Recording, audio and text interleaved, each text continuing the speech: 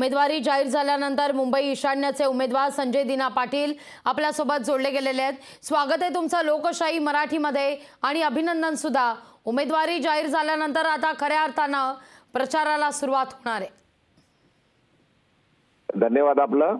आणि मी सर्वात प्रथम उद्धव ठाकरे साहेबांचं आदित्य साहेबांचं आणि तमाम शिवसैनिकांचा आभार मानतो की माझ्यावर जो विश्वास टाकलाय तो विश्वास आम्ही सर्व मिळून चांगल्या प्रकारे काँग्रेस राष्ट्रवादी काँग्रेसला बरोबर घेऊन चांगल्या प्रकारे सर्व मित्र पक्षांना बरोबर घेऊन चांगल्या प्रकारे निवडणूक लढून चांगल्या भरघोस मताने निवडून येऊ असा विश्वास आहे. आणि जे वारं जे चाललंय देशात त्याच्या उलट्या उलट्या प्रवाहात जाऊन आम्ही चांगल्या पद्धतीने निवडून येऊ.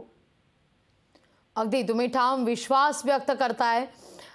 पण संजय दिना पाटील आपण पाहतोय की मुंबईतल्या या सहाही जागा आता असं म्हटलं जात आहे की शिवसेना उद्धव बाळासाहेब ठाकरे याच पक्षाच्या वतीनं लढल्या जातील. काँग्रेसमधल्या एकाही उमेदवाराला या ठिकाणी स्थान दिलं जाणार नाहीये. या सगळ्या संदर्भात काही संकेत पोहोचतात का? तुमच्यापर्यंत काही माहिती मिळाली आहे